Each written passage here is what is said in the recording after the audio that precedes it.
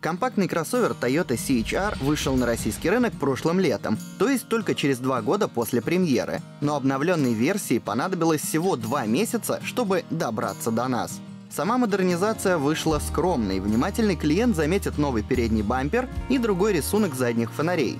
Зато именно CHR стал первой Toyota, которому досталась мультимедиа нового поколения.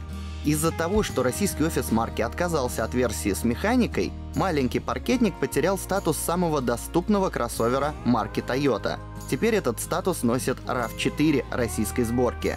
Версия с двухлитровым атмосферником, передним приводом и вариатором подорожала на 72 тысячи рублей. А вот сочетание турбомотора, трансмиссии 4 на 4 и того же вариатора стоит столько же, сколько и раньше.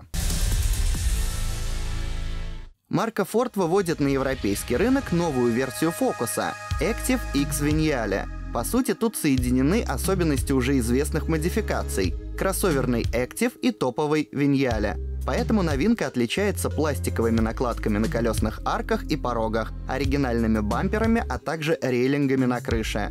Кросс-хэтчбеку по-прежнему положены свои пружины и амортизаторы, благодаря которым дорожный просвет вырос на 3 сантиметра. Сзади стоит многорычажная подвеска, хотя базовым фокусом полагается простая балка. В настройках ездовой электроники есть два режима. Один для скользких покрытий, второй для песка.